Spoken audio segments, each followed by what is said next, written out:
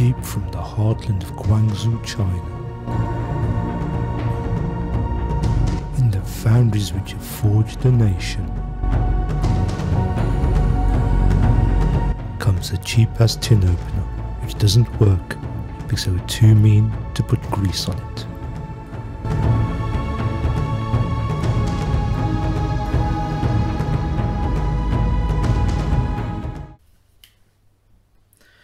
Welcome to Cheap Ass Engineering 101 and today to fix a non-functioning tin opener we will need a hammer, a blowtorch, some LM2 grease or uh, moly based or lithium based grease, a pair of pliers, some lubricant, I'm using WD-40 and 800 grit sandpaper. You also need about half an hour of your life probably some of that's to watch this video. The other half is actually flipping fix this thing. Is it really worth it? No, but welcome to Cheap Ass Engineering.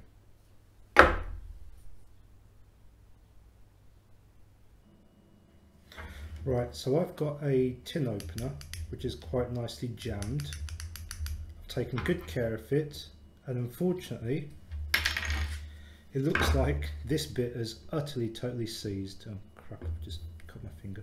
So this bit's rotating nicely, this bit is seized, and you may just think, right, okay, so maybe I'll just undo this screw here. And what happens when we undo that screw?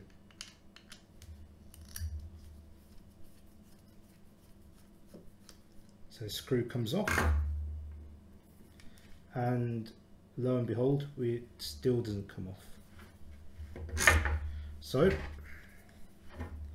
get a pair of pliers and see if we can move it. Oh, starting to shift a bit, but not by much. This should be freely rotating. Or something should be freaking freely rotating. see if we can get this off.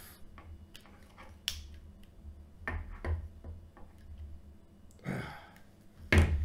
Let's get a hammer to it.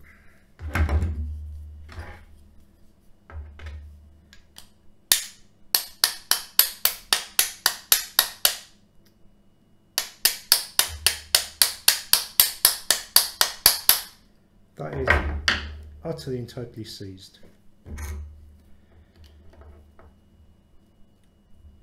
So that's man, that's not coming off at all, is it? I have washed this and kept this in pretty good condition. It's not coming off at all. Right. Okay. What I'm going to try and do is put some something to see if I can unseize it from there, which isn't particularly nice because I need to use this to cut open tins. Right. One can of WD-40 later. Let's see if we can get it off.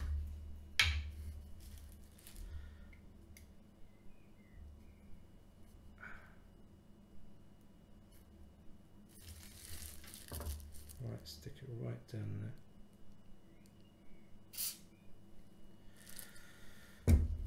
Okay.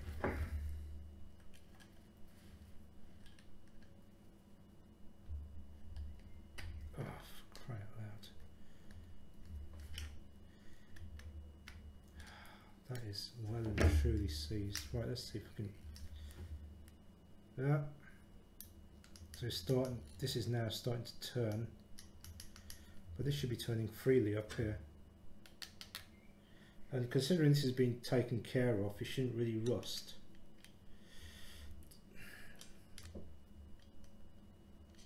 Right, let's see if I can give it a few.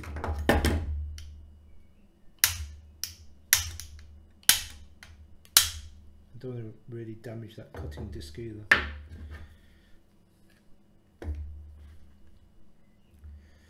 Alright, let's damn it.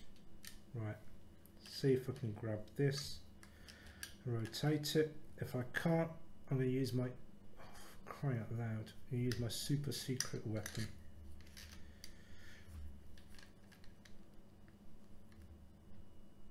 That is flipping stuck. Seized. Really flipping. Oh, blimey, seized.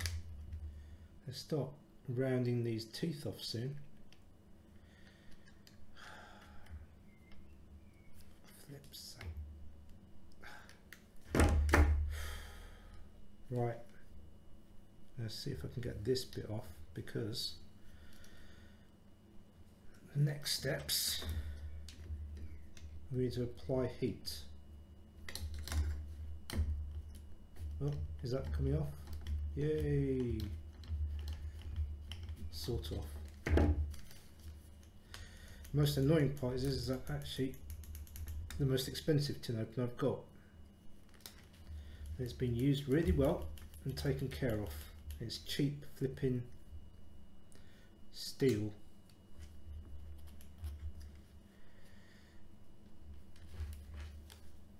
Oh, flip's sake. Right. If I, I'm going to apply a torch against that and see if I can free it up because it's ridiculously tight. Should be free rotating, should literally rotate against the actual flipping tin. Should cut into the tin and rotate. That one is, that one is quite nicely rotating. Move it around. So that's quite nicely rotating. That's going to get purchased. That's going to be quite good on the tin. This, however, isn't. And looks like it's kind of copper underneath. It's light shade metal for some reason. But I can't believe that's seized up. That's been taken care of. That's been washed and cleaned every single time I've used it and air dried. So it just shows the poor quality of steel that leads it to do this. See if I can grab one of these teeth.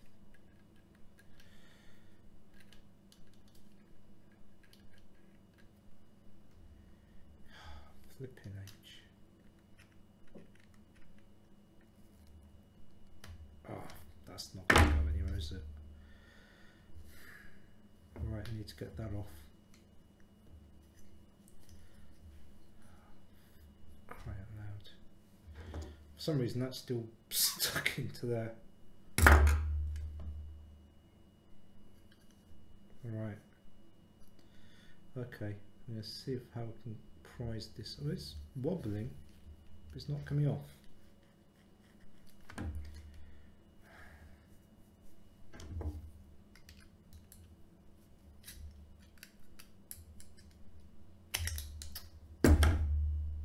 Right, do a torch it with that on. Yeah, I probably can do that. I just apply heat on this portion here. It's probably got a likelihood of melting that, but if I do that, get the pliers, turn it, got a good chance of um, actually doing something, moving it. Alright, let's get a torch.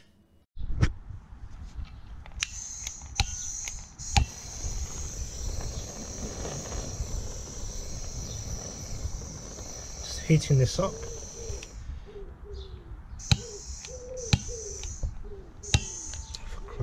Get, get my torch working again. Got my torch working again. I'm going to heat this up a bit. And what I'm going to do is squirt a little drop of this on there to cool it down and also put some lubricant in there.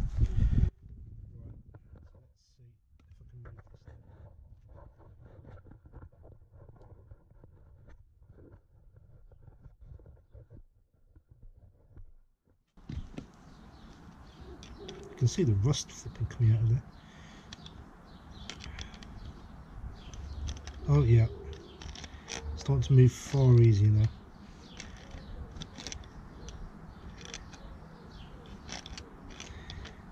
Oh, look, look at that rust coming out. Let's see if we can get this off. It's like it's pressed on.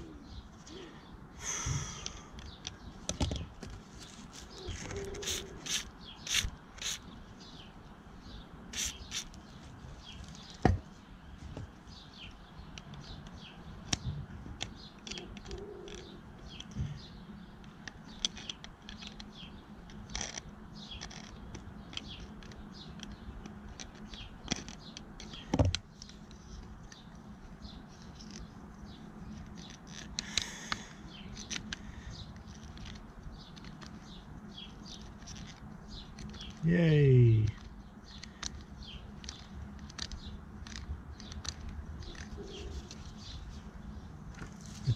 See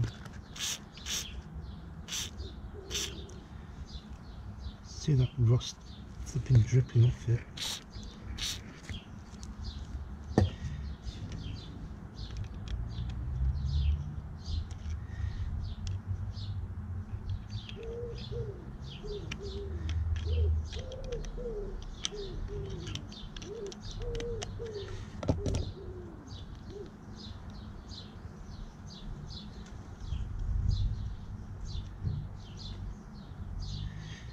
Oh, still got tough spots on there. Let's see if I can heat it up a bit more.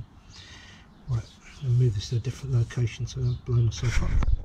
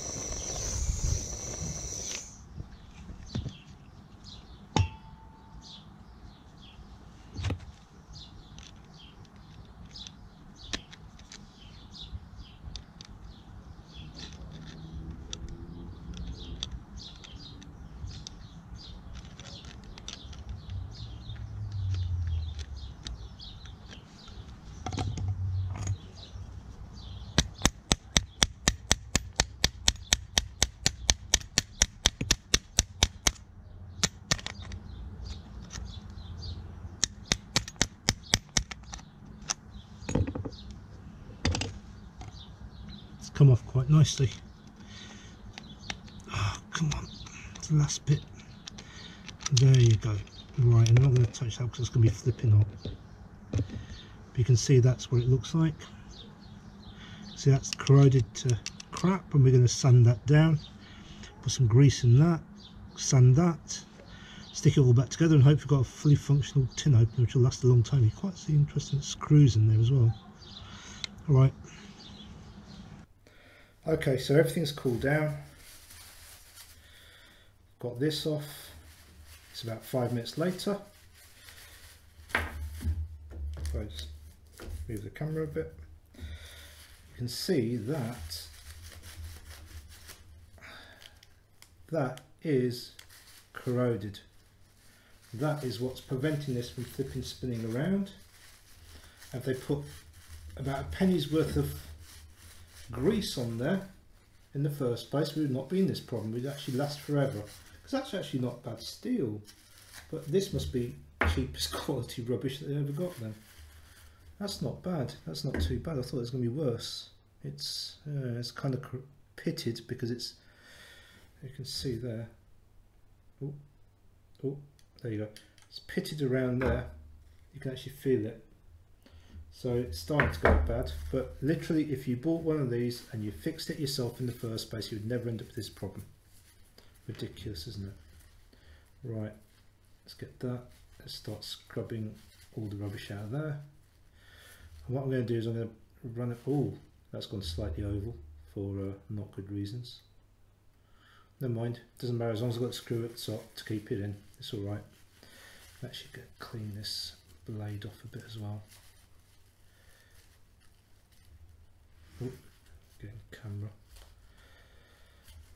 So it's seen better days, but principles of fixing something, isn't it? Right, let's get some uh, sandpaper. I've got a whole bunch of it. You'll find a, a very fine grit there. I've got some ridiculously fine grit here because I've got some automotive grade paper goes all the way down to 3000 grit which is pretty much like paper paper. Yeah, you literally can use that wet and dry in the car. I'm going to find something reasonably abrasive. Uh, that's good. Uh, 800 grit. Let's get some of that cutting off. Right. Just going to cut off a small bit because I don't need a lot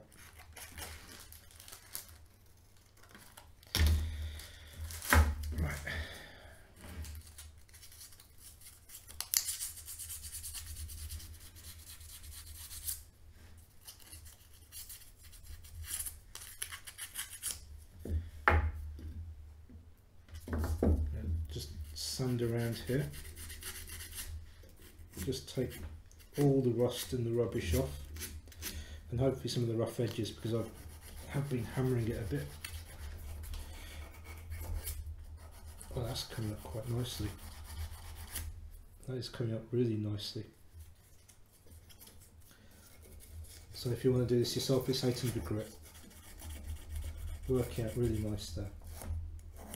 There's some scoring at the top there still but it's, it's actually smoothing it quite nicely out.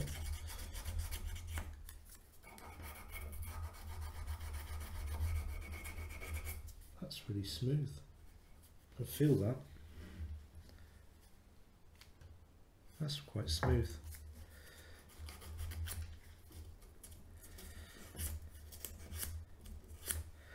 And ideally, once I put the grease in this, is going to last forever. Well, it lasts a really, really, really long time. It means I can also wash it under the tap because that grease isn't going to go anywhere soon. They obviously put zero, flipping zero grease in the first place to get to this situation. I'm going to try and run some sandpaper through there.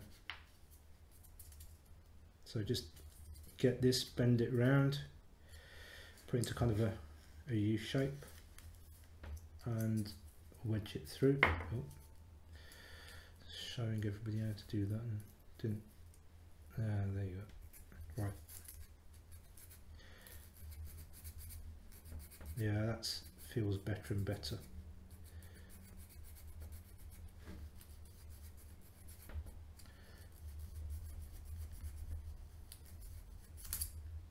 That's not too bad and you can start to see the inside of that's cleaning up quite nicely as well.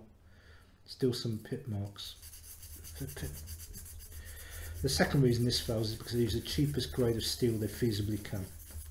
Instead of using stainless steel which would last forever, they use some rubbish junk grade of steel. See that's cleaning up. I'm going to clean that side as well, why not?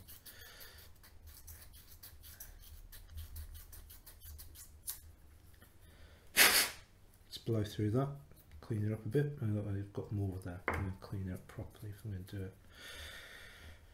Right, should really get a screwdriver. If I had a screwdriver available, I'm not going to bother going and find one now.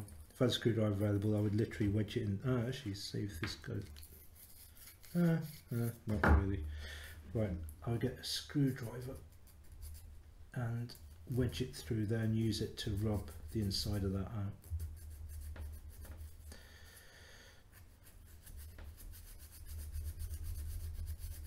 I'm going to get a pair of gloves actually to put so fancy messing up my hands too much. Allows me to be a bit more rough as well. That's better. Means I don't cut myself when I'm sanding this all down.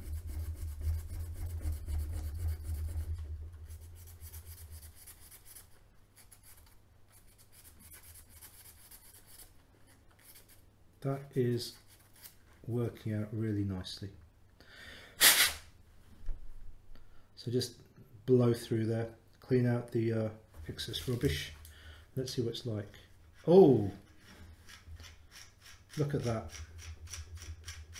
That's what we want to get. I'm going to do a little bit extra. That's nice. I don't need to do that. I'm going to do a little bit extra on this because it's really helped it a lot. I'm going to use the other side of the sandpaper because I've pretty much exhausted the other side and let's do it again.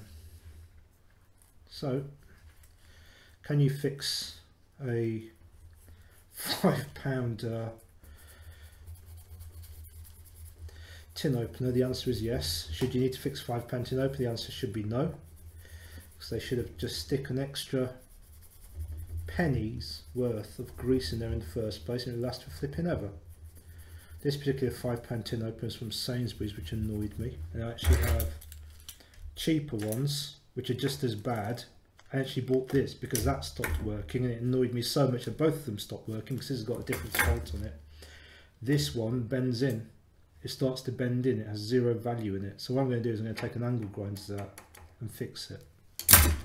But I shouldn't need to fix in the first place. And now, thankfully, as I've fixed this one, I don't really need to fix the other one that is becoming really smooth. So as you're sanding this down, this can get smoother and smoother and smoother.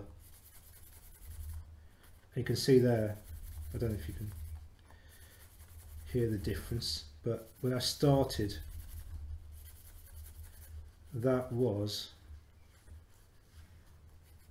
took a bit more effort to push through and I appreciate the sandpaper's grinding down which is going to make that a bit easier still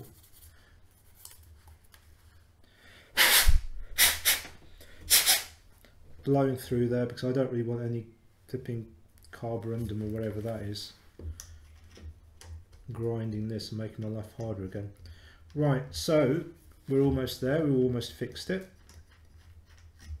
And what I'm going to do before I finish and I can put that glove away is use some of this. LM2 multi-purpose grease or lithium based grease. Uh, this one is particularly car lube this stuff should not be without if you want to fix anything it's absolutely brilliant. You want to fix kitchen appliances?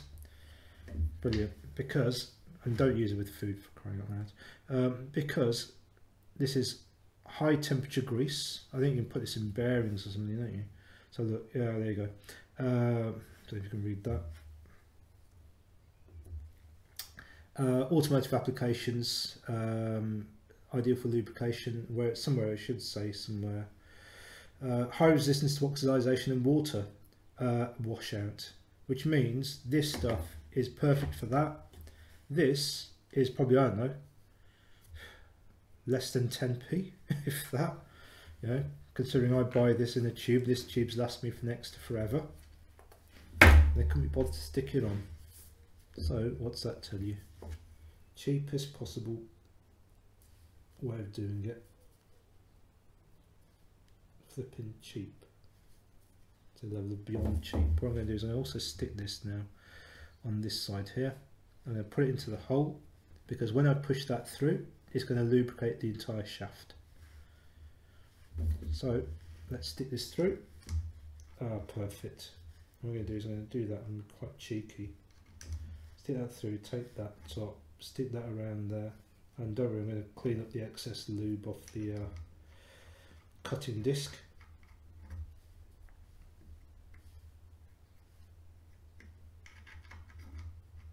Perfect. Right. Now in theory I should really kind of scrub oh, I'm going to do it. Wasn't going to bother cleaning this flipping screw but I'm going to scrub the back of it because why not? If you want to do a job do it properly because no one else flipping does. Takes seconds seconds to flipping fix stuff in fact it's probably taken I appreciate it's taken me about 20-30 minutes to go through this but it's taken me probably less time to go to a supermarket, go there, go through the checkout, fix it. Just blow the end off that, blow all the anything off that. I'm going to stick that in there and look at that. See, that actually has packed that hole with grease and I appreciate you've got to be sometimes careful with grease and because of hydraulic pressures, but I don't think I'm going to really worry about that in a tin opener. Yay! Oh, no, tightened it too much. So actually that tightens it.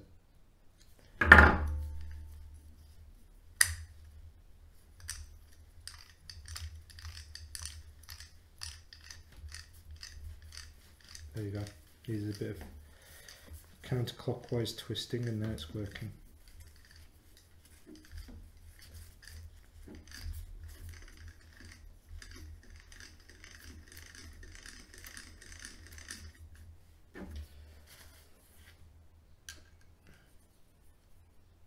Oh. All right, we'll see how it does.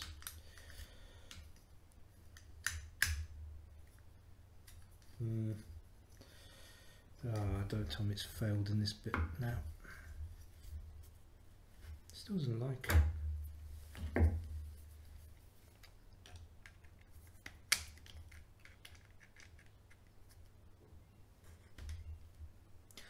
That's because it's I think it's wallowed out. I think that bit that I saw earlier where it didn't look square was wallowed out it's not perfectly pivotal. Oh dear. Well, might end up chalking this one down to failure, but at least I know how the flipping thing works. I know if I want to buy another one, take that off, put some of this in there, and ideally fixed But that was that took a flipping blowtorch to take off because it was so corroding. Look all that. Because somebody didn't bother sticking in a couple of pennies worth of grease. Unfortunately, I think this one's destined for the bin. No. Oh well. Rinse and loosen.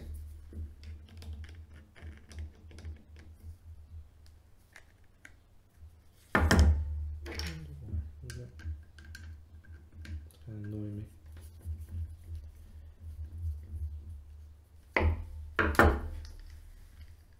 No, actually, I think I might be able to use this. Right, I'm going to test this. I'm going to test it. Right, I'm going to test this on a tin. see if this fucking works. Hey, it does actually work. Although it has a spot where it doesn't like it. That's probably because the tin's bent flipping. Not having much luck today, am I? Oh, there you go. After thinking it wasn't going to work, it actually does work. Uh, was it worth the effort? That's the principles of cheap ass engineering. No, it's not worth the effort, but it works. I know why it flipping failed. I know what to do to fix when it fails. Hopefully, there's one person in the entire flipping world who'll fix it when it fails. Fair enough, you may need a small blowtorch, a screwdriver, a pair of pliers, and about 30 minutes of your life, and some sandpaper 800 grit. But it can be fixed, but the point is you don't need to fix it if you've got one to start with. Flip and put some grease on it and you won't fix it. Utterly pointless YouTube video, but there you go.